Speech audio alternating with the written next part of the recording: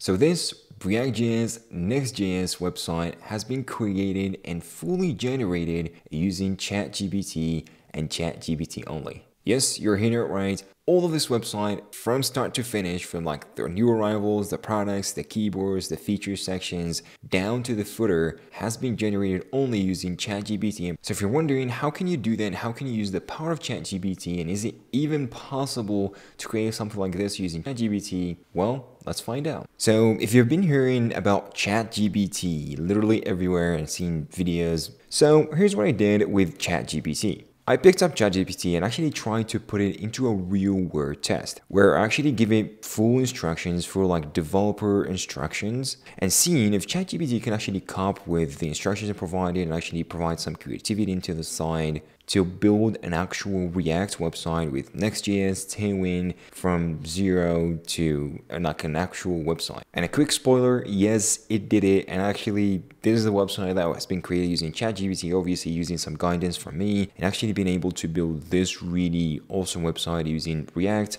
Next.js, and Tailwind. You can see the products of the like the keyboards we we be selling here with like pricing and everything. If you scroll down a little bit, you're gonna see all the features that we you know have or our keyboard actually are uh, having compared to other keyboard brands. And last but not least, is just a simple footer in here, exclusive in here. So to start in here, I tried to get started by just providing some context of what we're gonna build throughout you know the whole kind of project. So I started by saying, oh, we want to create a React.js up using Next.js and Tailwind CSS. That wasn't really, uh, it doesn't have a really a lot of details. So he tried to give me some instructions, which obviously didn't want.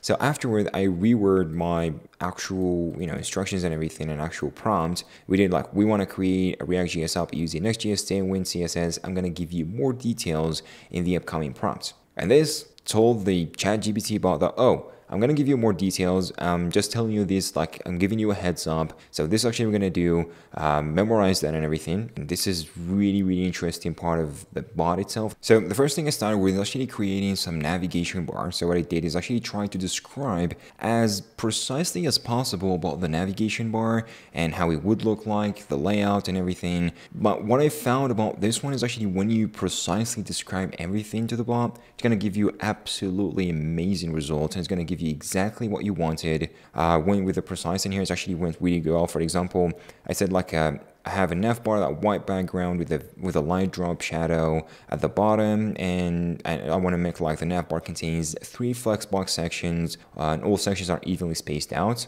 I have like I told him even like what the URLs like keyboards, keycaps, and accessories, and also told him like what is the icon that needs to be used, like the shopping cart icon color in black and changes color to gray when hovered by mouse, all the transitions and everything. So this actually indeed tells you, oh, for interacting and telling exactly the bot what it needs to do to, in order to build you and give you actually the code that is going to be generated, you need to first be familiar exactly what you're doing. So you at least need to have some knowledge uh, as a developer. And if you take a look at that, actually started from the scratch. So he started actually, oh, you don't have a Next.js application. So I'm going to show you how to create a Next.js application. So you give you all the commands that you need to run first, you how to install Tailwind CSS, how to go ahead and put Tailwind CSS with a custom configuration generated by the bot, which I was super happy about. And I went through in here actually another edit. So what I really like about the bot is actually has like a memory. So whatever you provided before, it's always going to be in, in, its memory. And when you try to give them like more instructions later on, it's always going to remember exactly what it did before.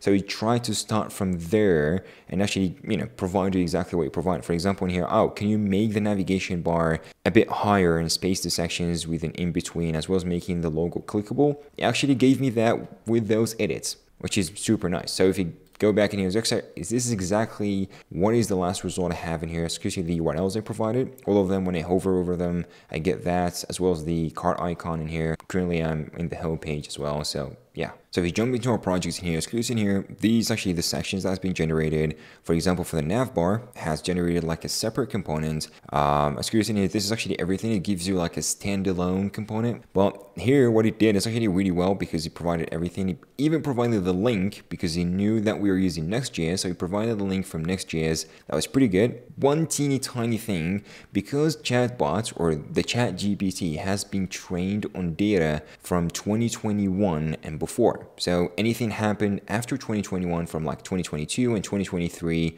it doesn't know about that. So the new version of Next.js, which I'm currently using, is Next.js 13. And Next.js 13 has been released in 2022, which the ChatGPT doesn't know about that. So if you go to the link in here, it tries to use the code that is linked to the previous version, the version 12. So I needed to provide this legacy behavior in order to do the compatibility with the old code in here to make it work. So the next thing I needed to actually or wanted to build is actually these new keyboards. So what I did is actually try to go through and actually provide as much details as possibly could to get the, you know, a, a good final result. So I did like create a new project section where products is playing as cards and have like a, a new title, like the top left title in here is new arrivals and it should have three products per row and multiple rows and have spacing both horizontally and vertically. Uh, also like the card component that is going to render also provide like the aspect ratio of the current image in here. Um, also like provide everything like the semi-bold fonts of the text the black color uh, display the rating using five star rating. I literally went through everything. Is actually this is actually what it meant. Um, also I generated all of these it didn't generate the images, just do not confuse you because the code in here that generated Squeezing has some placeholder images, which was really, really good as well because it gave you placeholder images from an actual URL. So you can later on swap those images with real ones, which I did in here, swapped them with real keyboard images we actually did a really decent job with the code. So if we look into this, this is the component, it's called products. I put it inside of the products. And what it did in here is actually created two. I created a separate product card because that's exactly what I told it to do. So that's why I created this new product card for us separate from the actual products list. And it's doing a map, it's rendering the product card, it's literally doing what you would do in a real world scenario. And that leads us to our today's sponsor, Scribe. Scribe is a really nice free tool that allows you to actually create instructions and documentations or pretty much anything you want to create an instruction for and actually share it with your colleagues, with your friends or your team, or maybe just create it for a reference for your future self. Scribe allows you to do exactly that in a super, super easy way. So let's say, for example, you want to show your colleague how you got this really awesome result and this really awesome like products links in here and this really awesome website by just providing specific details. I want to share it with them in those specific details so they can follow up and create the same thing using, of course, ChatGPT in here so all you're gonna do is go to Scribe, install as a Chrome extension in here. You go ahead and start recording. You hit start recording, you're gonna find this one in here. That means, oh, you started recording. You can take as much time as you want. So in here you can type, for example, oh, I wanna go ahead and use ChatGPT. So you need to follow the instructions that you wanna create. So for example, oh, I wanna click the first link and go click on try ChatGPT and that by itself is going to take me to sign up or log in. I'm, for example, going to go ahead and log in. And here I need to enter my email so I can you know, go continue with Google or something. And for example, you want them like to follow the instructions. So for example, you go here, type, oh, build, uh, for example, React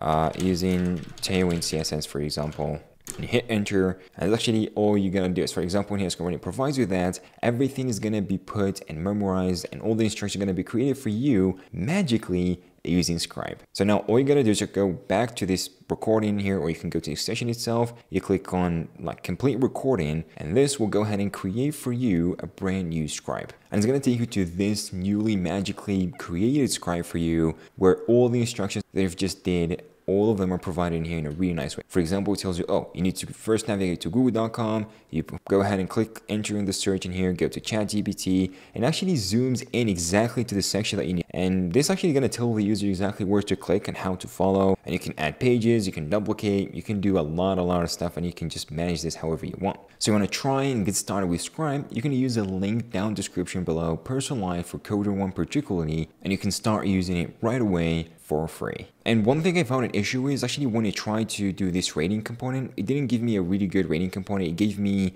a rating component that it was able to change. For example, here it's actually, it's doing like hover. So when you try to hover on the stars in here, it allows you to select how many stars. But it didn't understand that I want this only for display, not for like actually choosing or putting a rate. So I tried to make it understand so many times like the rating and the rating component should only call the rating starts from a predefined value. And I think only after that I actually understood and it gave me what I wanted. Now, when it comes to the footer, because I generated the footer before the features section in here. So what I did is actually, oh, can you generate a minimal footer uh, that is inspired by GitHub's footer? It should have white background, yada yada yada. The footer should be uh, have the keyboarder logo created before, it has privacy policy, terms of service, and copyright, yada yada yada. It gave me a footer, but it didn't give me a really good layout. So I tried to ask it to change the footer layout to be more horizontal, and this is actually what I ended with. Uh, also, I didn't like the borders, so I asked it again to go ahead. Oh, there's too many borders. Please make it minimal. Make sure to include um, the keyboarder logo we created before. And this is actually what I really loved about it because it knew that we already created a logo that's called a like keyboarder that has like the R in, in cyan that is different colors in here. So I tried to, you know, go ahead and tell it to do that without specifically telling it what the logo is. And it did it. it actually gave me the span in here. So Chris uses the span. It did it with the R in cyan, which is super amazing. And it copied the footer. And this is actually what it got. Just copy pasting it this is what I got. And he included some icons even like a github and everything and made them interactive. And it pretty much did the same thing with the landing section in here which is I found the hardest one to describe is actually the landing section. It wasn't easy because it, most of the times you can't provide it with images. So you need to go ahead and use your own images. It can give you like placeholders but obviously you need to swap them with your own images. Like 99% of the times you would need to position the image correctly for the design to make it work. So you gotta actually change some code in order, in order to make this work. But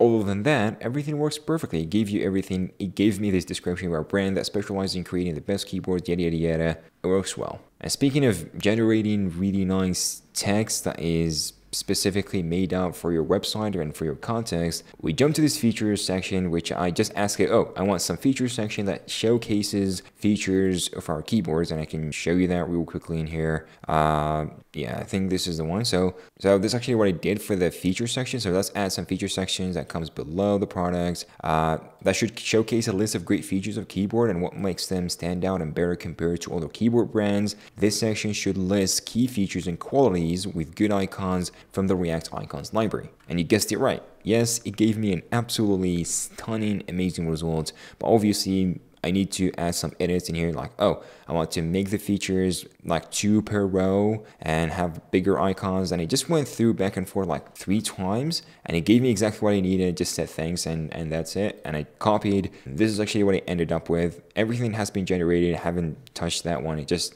copy paste and it works really well. Um, yeah. So anyway, guys, thank you guys for watching. Really hope you guys enjoyed the video and I hope you guys actually can go ahead and pick up now ChatGPT with some precise instructions and create your first awesome React website.